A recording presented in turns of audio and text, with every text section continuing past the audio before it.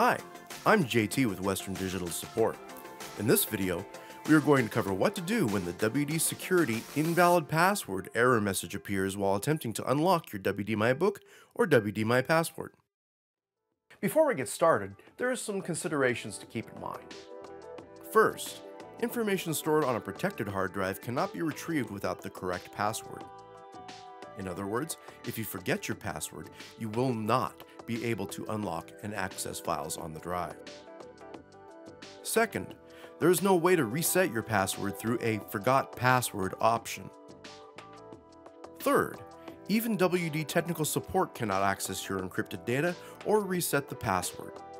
By design, no one can access your encrypted data without the correct password.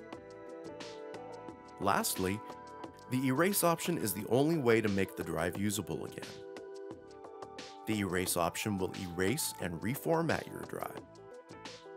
Keep in mind that the erase drive process is data destructive and cannot be undone.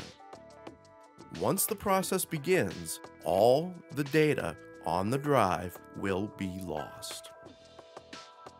Let's get started with the steps to erase and remove password protection from a My Passport or My Book external drive. Every time you attempt to access your password protected MyBook or My Passport, you'll be prompted to provide your password.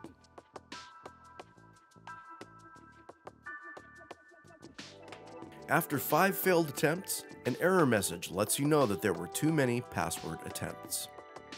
The message also instructs you to safely disconnect and reconnect your device before your next password attempt. Be sure to eject the drive properly before reconnecting. After disconnecting and reconnecting the drive, you will have five more chances to provide the correct password. You can repeat this process as many times as you wish, but after your final password attempt, you will need to erase the drive before using it again. Open WD Discovery. Click the Unlock button, and then click Erase Drive. Always remember, reformatting your portable drive is data destructive and cannot be undone. You will be prompted to acknowledge that all of your information will be lost.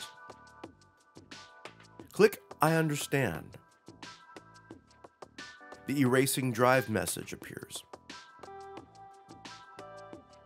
After the process is complete, your portable drive will be reformatted and unlocked. Your drive is now erased. If you want to protect your data again going forward, use WD Security to create a new password. First, type your new password. Second, retype your new password to verify and finally, type a password hint and click the Set Password button.